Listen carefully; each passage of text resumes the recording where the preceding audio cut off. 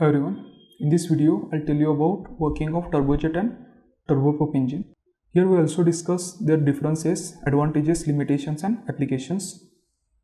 For that purpose here I drawn the sketch. We'll start with the construction of turbojet engine.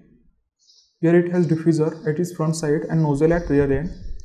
The diffuser is provided for greatest pressure rise of incoming air and convert kinetic energy into pressure energy.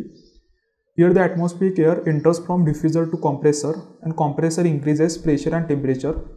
The pressurized high temperature air pass through combustion chamber. Here the burning of fuel occurs at constant pressure.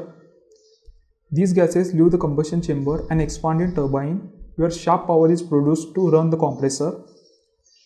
The exhaust gases releases into atmosphere through nozzle and it produces propulsive thrust. Here the turbojet engines are capable of multi-staging small frontal area. The next is turboprop engine. It is the modification of simple open cycle gas turbine. Here air enters from diffuser after it passes through compressor and temperature and pressure increases in compressor. Here the combustion chamber allows constant pressure burning of fuel leading to high pressure exhaust gases.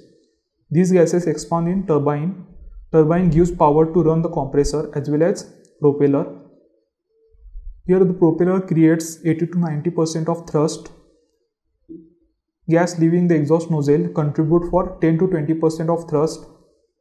Here diffuser play important role to allow entry of air converting kinetic energy into pressure energy. The fuel used is paraffin oil or kerosene oil. These engines have low specific weight and simple in construction with low mechanical vibration.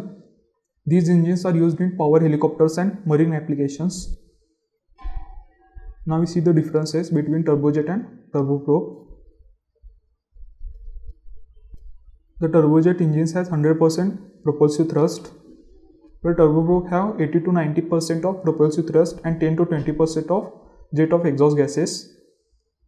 There is no speed limit for turbojet engines because there is no propeller where in turboprop there is speed limit is on propeller rpm the noise creation in turbojet engines is more compared to turboprop engine.